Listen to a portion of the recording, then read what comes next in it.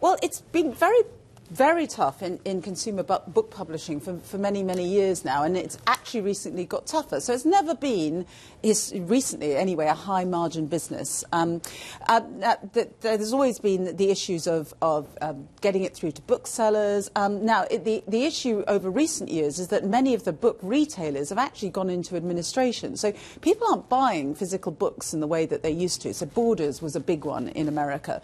So you've got the problem of your, your retail channel going out of business business. And then you've got the problem that the new channel where people are buying books is, is uh, basically e-books, so obviously Amazon Kindle and, and, and many others. Um, and you don't get as much money back for an electronic copy of a book sold as you would from a physical book.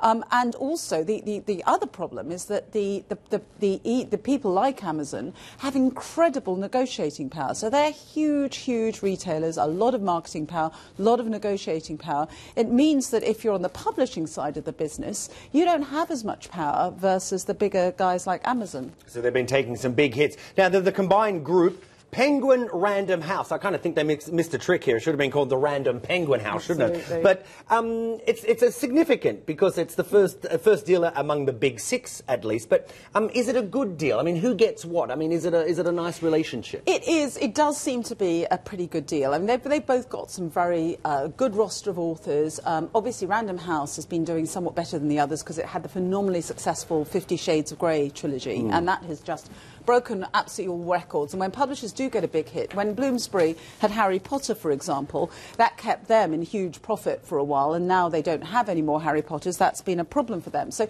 somewhat the hits business, but also they're strong in different geographies as well. Okay. Yes or no? Uh, can we see more consolidation? Absolutely. Expect to see more consolidation in this sector.